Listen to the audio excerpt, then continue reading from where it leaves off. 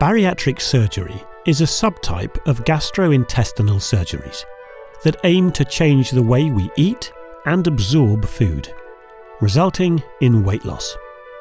These procedures are typically performed through keyholes, which are ports in the abdomen through which we deliver instruments to conduct the surgery.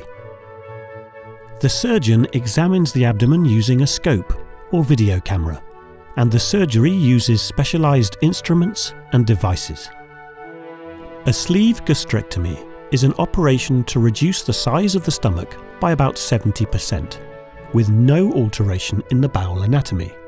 This is achieved by using a stapling device and changing the stomach from its original shape to a tube like a banana.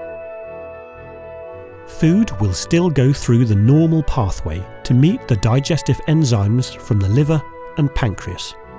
Thereafter, it will continue downstream for full digestion and absorption. Bariatric surgery changes how food passes through the gut. By doing this, it changes the signals that control appetite, body weight and blood sugar. It is these changes that lead to marked, long-term weight loss.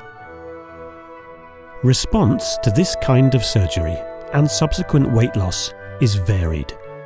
After the operation, eating behaviour will greatly determine the long-term effectiveness. All surgeries carry risks, and this should be discussed with your surgeon, including the right type of surgery for you.